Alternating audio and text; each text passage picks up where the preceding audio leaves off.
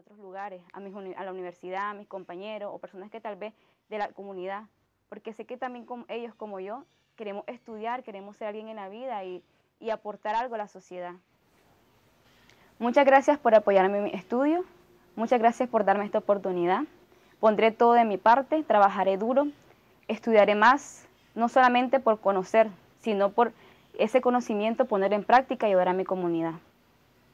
Luego de ser doctora, tengo muchos planes, pero primeramente, este, al comenzar a trabajar, me gustaría becar a alguien, no quedarme con lo que fui beneficiada, sino que trabajar en alguien.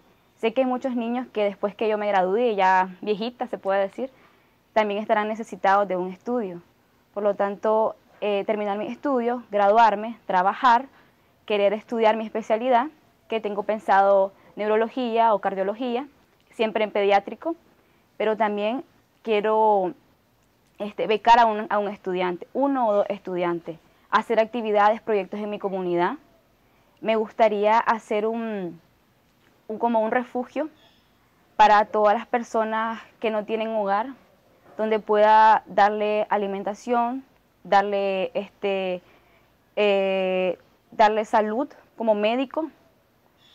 Pero sí, es un sueño que tengo con mi mamá, hacer un lugar así, llegar a todos los, borrachitos del barrio, los borrachitos de San Juan, llegar, darle baño, darle un lugar donde dormir, darle alimentación y darle salud.